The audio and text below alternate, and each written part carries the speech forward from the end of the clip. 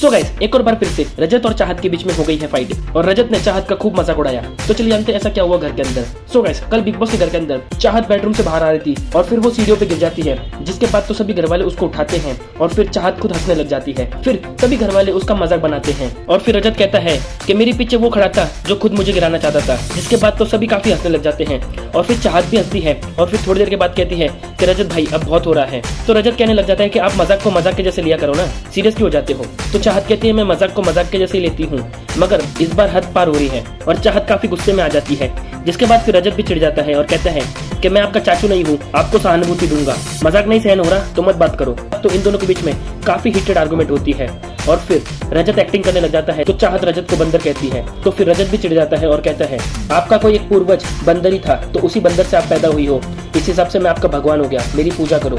दोनों के बीच में बहुत आर्गुमेंट होती है और कुछ कुछ बातें तो बिग बॉस ने म्यूट भी कर दी थी।